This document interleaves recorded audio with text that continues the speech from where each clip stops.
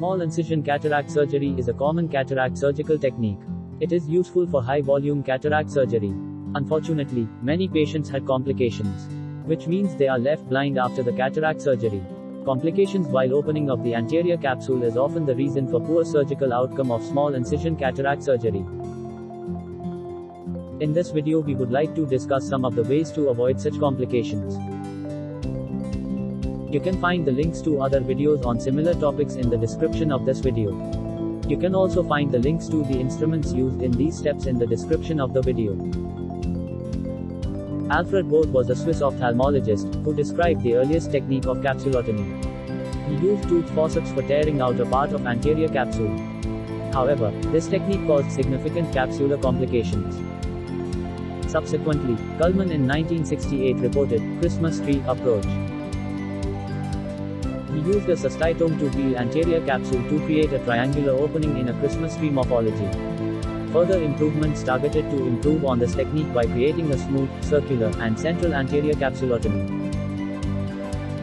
Can opener capsulotomy Kratz was of the view that posterior chamber phacoemulsification was safer than in the anterior chamber and devised the can opener capsulotomy and his iris plane phacoemulsification technique. This technique is commonly employed for doing extracapsular cataract surgery.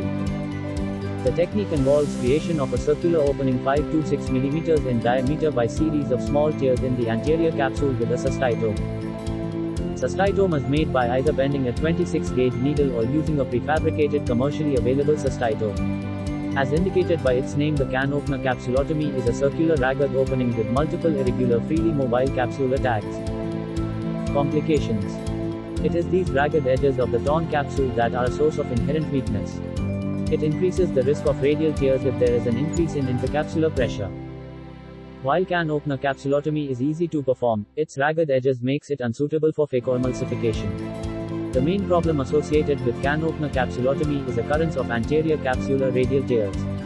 Not only tears make the capsular bag unstable, it interferes in aspiration of cortical matter. Moreover, it can also affect the centration of IOL. These radial tears can extend through zonules causing catastrophic posterior capsular tears. Also, tags can occlude aspiration ports and obstruct removal of cortical lens matter.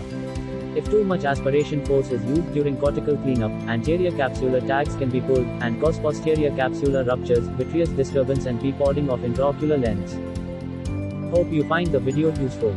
Please let us know in comments the factors you think also causes complications during capsulotomy. Please let us know the other topics on which you would like to see similar videos. Check the description below for a link to other useful videos and instruments mentioned in the video.